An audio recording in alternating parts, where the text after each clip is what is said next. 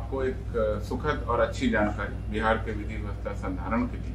और वह यह कि पिछले वर्ष गांधी मैदान में जिन नवनियुक्त सिपाहियों की सात हज़ार आठ सौ छियानवे लोगों की जो परेड हुई थी, उस और नियुक्ति पत्र वितरण किया गया था, उसके बाद उन सभी को ट्रेनिंग के लिए भेजा गया। ट्रेनिंग में इन सभी लोगों का लगातार प्रशिक्षण कराया गया और तरह तरह के जो पुलिस के विषय हैं, उनको ट्रेन किया गया।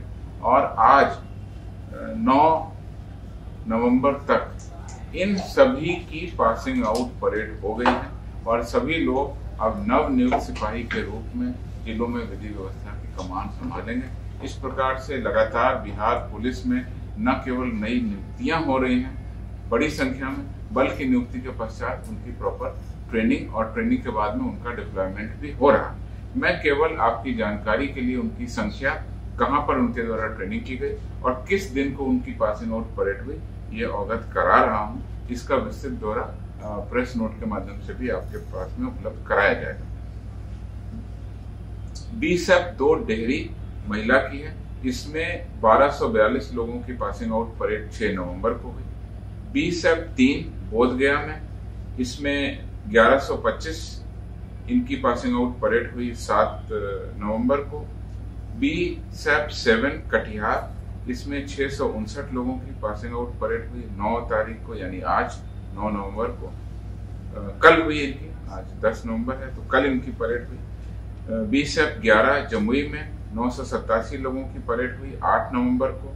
बी सैप बारह, भीमनगर में तीन सौ अंठानवे पुरुष सिपाहियों की पासिंग आउट परेड हुई 6 नवंबर को। बीस से बारह दरभंगा में महिला सिपाहियों की 301 की पासिंग आउट परेड हुई 13 अक्टूबर को।